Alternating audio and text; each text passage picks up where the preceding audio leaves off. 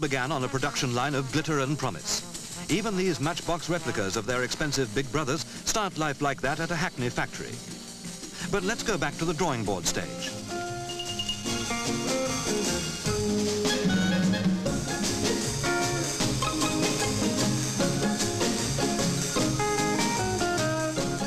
They might finish up as two-inch models, but there's no lack of detail when the designer sets about his task. Collectors, as well as children, buy these toys, so he has to make sure that all the trimmings have that authentic touch before the prototypes can be carved out of wood. They're five times too big at this stage, because that makes it easier to see if some small but important feature has been overlooked.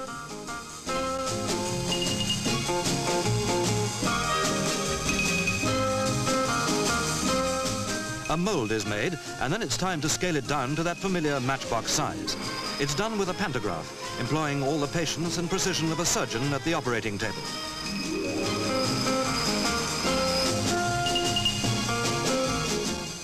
The ladles of molten metal take us nearer to that production line. Just a few casts at first, but they build up until 80 million a year are rolling along. It's a far cry from the days when the first one, a replica of the coronation coach, sold a sensational million in 1952.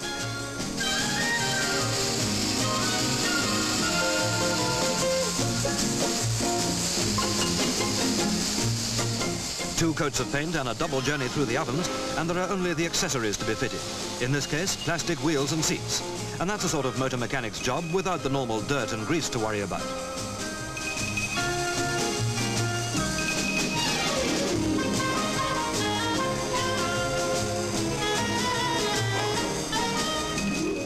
This is another branch of the motor industry which attracts around a million pounds from foreign customers each year.